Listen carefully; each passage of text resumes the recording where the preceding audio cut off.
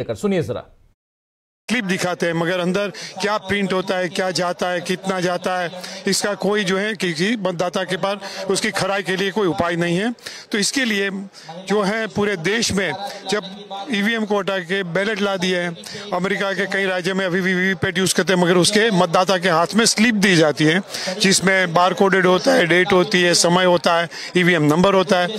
तो इसी प्रकार से एक छोटी सी डिमांड जो थी, ये सभी का स्टडी करते हुए इंडिया अलायंस ने एक रिजोल्यूशन पास करके इलेक्शन कमीशन को भी दिया कि जो है पर्ची जो निकलती है वो मतदाता के हाथ में दी जाए। नीचे आप बॉक्स में डाल दे तो उसको मतदाता के हाथ में दे तो वो खुद बैलेट बॉक्स में डाल देगा।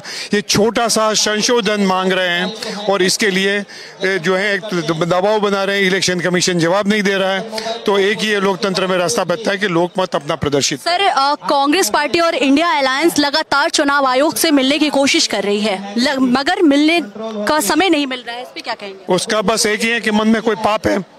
मैं आपसे कह रहा हूँ कि मैं आपके संस्था के लिए ये दस हज़ार रुपया देना चाहता हूँ, सौ रुपये की सौ की एक घड़ी देना चाहता हूँ। मैं कहता हूँ, मैं डालता हूँ। तो आप कहोगी, नहीं सर, मेरे हाथ में दे दीजिए, मैं खुद दे के डाल दूँगी। तो ये क्यों मना करें? मुझको तो आपको देना है तो क्यों मना करें? स्लीप उसके मन में कोई पाप नहीं, इतने पॉपुलर है तो why they should say no हम तो छोटा सा ईवीएम भी रखें, सुझाव मांग रहे, दे रहे हैं कि पर्ची हाथ में दे दो। और कई राज्यों में जो जहाँ भी जी अभी वीवीपैट चलता है तो हाथ में दी जाती है। तो ये क्यों मना कर रहे हैं? Why they are not replying BJP ने इस बार टैगलाइन दिया है चार सौ पार, और कांग्रेस के पास क्या? ईवीएम? बीजेपी ने टैगलाइन दिया है 400 पार इंडिया अलायंस। 400 पार इंडिया अलायंस। इंडिया अलायंस लेकिन ईवीएम को लेकर के सड़कों पर है तो कैसे 400 लोकतंत्र में लोग सर्वोपरि होते हैं समय जवाब देगा। सर आपसे एक सवाल हट के पूछना है। कल कांग्रेस के अकाउंट से पैंसठ करोड़ रुपए निकाल लिए गए या फिर आईटी कंपनी की तरफ़ से ये एक्शन लिया गया। इस पे क्या वो हर प्रकार की बेशर्मी से तानाशाह की तरह व्यवहार कर रहे हैं। जितने भी पॉलिटिकल डिसेंसी होते हैं वो किनारे कर कर रहे हैं। लोकतांत्रिक तरीके को किनारे कर रहे हैं। डराना धमकाना परेशान करना लोगों का जो है बंद कर देना काम वो सोचते हैं कि इस प्रकार से वो प्रताड़ना करके अपनी मकसद जो है पार करेंगे। 2024 का अभी तो एक महीना ही दूर है, जवाब दे देगा। सर, अगर ईवीएम चुनाव आयोग आप लोगों के बातों पे एक्शन नहीं लेता है तो फिर आपका एक्शन क्या रहेगा अभी हम क्यों निश्चित करें? चुनाव आयोग है, सुप्रीम कोर्ट है। आज भी सुप्रीम कोर्ट में कहीं ना कहीं लोगों के मन में थोड़ी श्रद्धा बनी हुई है। तो वो भी संज्ञान लगे। कहीं पब्लिक मैटर होती है, उसका वो एक पिकअप करते हैं शो मोटो। तो यहाँ भी एक छोटा सा जब इतने बड़े पॉलिटिकल आउटफिट और इतने बड़े मात्रा में लोग, इतनी सिविल सोसाइटी के लोग, इतने ब्यूरोक्रेट्स सब लोग जो डिमांड कर रहे हैं तो मैं समझ रहा हूँ कि सुप्रीम कोर्ट में भी वो सेंसिटिविटी अभी भी कई लोगों में बची है। जो है कि जो लोकतंत्र की, संविधान की रक्षा करने की उनके ऊपर दायित्व है।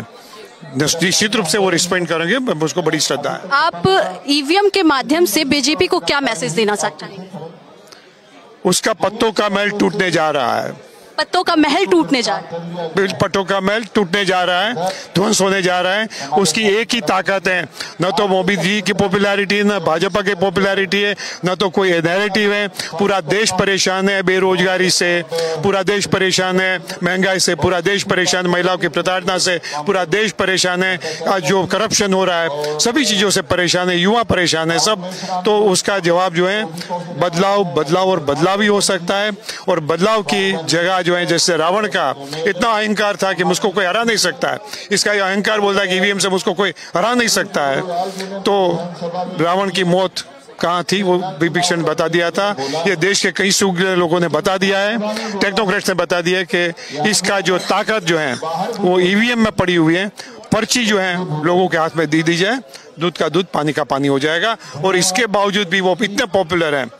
तो ज़रूर से हम तो अभी भी नहीं कह रहे कि वो हैक करा है, नहीं कर है, आशंका है। तो जो है बिल्कुल साफ़ हो जाएगा कि वो पॉपुलर है तो करे, शासन करे लोकतंत्र का प्रति, प्रतिघोष करे। मगर मैनिपुलेशन से जो करने की कोशिश पावर कैप्चर करने की कोशिश करनी है, वो रोकने का हमारा प्रयास है। आप कह रहे हैं, sir ballot paper ballot paper से ही चंडीगढ़ मेयर का इलेक्शन हुआ था, उसमें साफ़ दिखा था और आपको बैलेट पेपर पंद्रह बीस मत थे, हम लोगों को वो कह रहे हैं कि इतनी भारी मात्रा में मतदान करो, बदलाव चाहते हो? पेटियाँ भर दो कि ये छोटी मोटी धांधली करते हैं, उससे वो नतीजों को प्रभावित न कर पाए। बदलाव चाहते हैं तो दो ही चीज़ें, भारी मात्रा में मतदान करें, इतनी भारी मात्रा में बदलाव के लिए मतदान करें कि धांधली न कर पाए, प्रभावित न कर पाए छूट मोट की। और दूसरा, ये जो इवन ईवीएम को मैनिपुलेशन करने की कोशिश करे, वो भी न कर पाए और अपने पर्ची का अधिकार मांग ले। अपने पर्ची का अधिकार माने आप बहुत बहुत शुक्रिया सर आपका।